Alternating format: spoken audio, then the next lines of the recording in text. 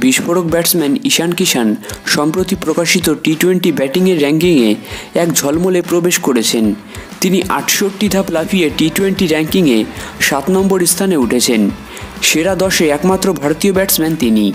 দক্ষিণ আফ্রিকার বিরুদ্ধে টি টোয়েন্টি সিরিজে ঈশান কিষান এখনও পর্যন্ত তিনটি ম্যাচ খেলেছেন, যেখানে তিনি চুয়ান্ন, চৌত্রিশ এবং ছিয়াত্তর রান করেছেন।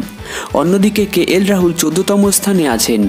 রোহিত শর্মা এবং শ্রেয়াস আইয়ারও ষোলো এবং সতেরো নম্বর স্থানে আছেন, যেখানে প্রাক্তন ভারতীয় ক্যাপ্টেন বিরাট কোহলি দুই ধাপ পিছিয়ে একুশ নম্বরে আছেন।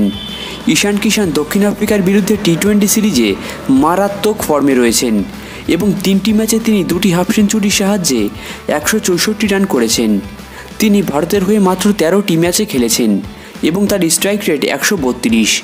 এবং করেছেন তেরোটি ম্যাচে সম্পূর্ণ চারশো তিপ্পান্ন রান এখনও পর্যন্ত। চারটি হাফ সেঞ্চুরিও করেছেন তিনি। টি টোয়েন্টি র্যাঙ্কিংয়ে ভারতীয় বোলারদের কথা বললে senior fast bowler Bhuvneshwar Kumar সাত ধাপ এগিয়ে এগারো নম্বরে স্থানে আছেন, যেখানে লেগ স্পিনার ইউজবেন্দ্র চাহাল চার ধাপ লাফিয়ে ছাব্বিশ নম্বরে আছেন।